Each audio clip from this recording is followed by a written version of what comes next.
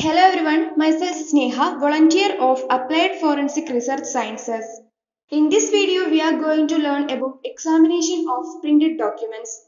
Contents Introduction Guidelines for the forensic document examination High speed mainframe line, chain, and drum printers, dot matrix printer, inkjet printing technology, monochrome and color laser or LED printer, thermal paper, solid ink or inkjet printing, fax machine, and conclusion. Introduction Even in the age of internet and digital communication, paper is used extensively as an important carrier of information. Technological advances, however, have made the printed document easy to modify for malicious purposes. Therefore, document authenticity plays an important role in forensic science where documents are disputed in a court of law. In fact, question document examination has become an important discipline within forensic science.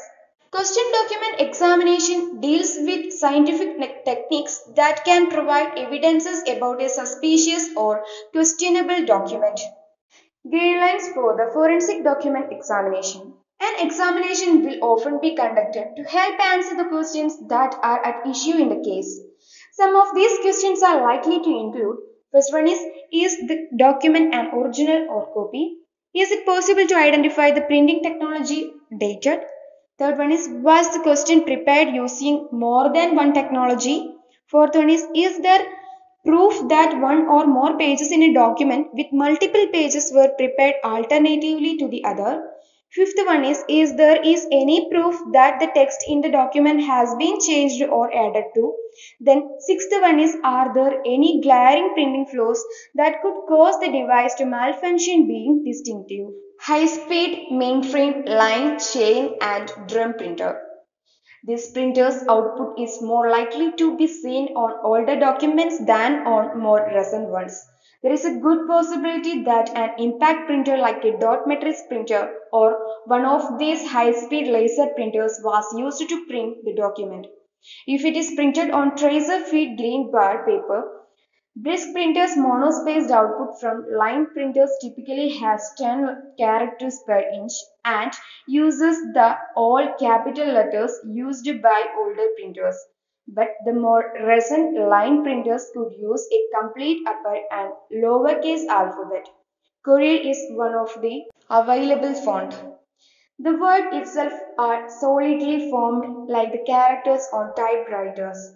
The text on the paper was created being squeezed through an inked ribbon, despite the fact that the may have the appearance of being made of little dots or dashes. This is an illusion brought on by the weave of the ribbon of printed fabric. Dot matrix printer. Dot matrix printers are utilized often today in contexts where carbon or carbonless forms are printed since they use the impact printing technique. Cash registers and medical records, tax forms, and receipts are common types of document printed on dot matrix printers. The 9 vertical and 18 vertical as two column pin arrays are the most prevalent ones found in dot matrix printers and 24 pins of 9 as two vertical column of 12. Inkjet printing technology. Continuous drop and drop on demand inkjet printers are the two type available. All of today's desktop inkjet printers fall under the second category known as drop on demand. In forensic lab, it's likely that the majority of the question documents that are found will be from this inkjet printing variety. But for commercial high-speed applications, the continuous likelihood of finding a drop printer is higher. Lottery, bulk mailings, packaging, and barcoding some of the more popular uses for high-speed continuous drop printers. Monochrome and color laser or LED printer. Laser or LED printers use dry toner as their ink both on black and white and color printing. But keep in mind that toner is also used by color and black and white copiers. Despite the fact that certain older xerographic devices used pressure rollers to crush the toner into paper fiber. To melt a thermoplastic binder combined with the metal in current machines. Heated fuser rollers are used to toner. Consequently, some xerographic printers will create pictures or text with a glassy, glossy appearance. But many of the more recent microfine toners have a significantly flatter appearance. Thermal paper. The output from thermal wax printers has a poor resolution but highly saturated colors. The sticky ink can be removed from the paper surface with a scalpel pin. This method is also used by some plain paper fax machines. Multiplex PCR procedure. The PCR procedure initiates with DNA extraction. Using a DNA extraction kit or protocol, high quality DNA is extracted, purified, and diluted. To add the reaction, all the reagents are first taken and thawed. First, add the DNTPS cocktail to the reaction tube. Add multiplex buffer to that. Usually, the reaction buffer may have ingredients such as magnesium chloride, DMSO, salt, potassium chloride. Add primers simultaneously to the reaction. Add probe or dye if the assay is quantitative. Add the template DNA to the reaction. Fax machine. Multitasking is not supported by fax machine. Both fax machines must be in good working in order to transmit and receive faxes. There is no method to transmit a document if any of the devices breaks down unless they are fixed or replaced.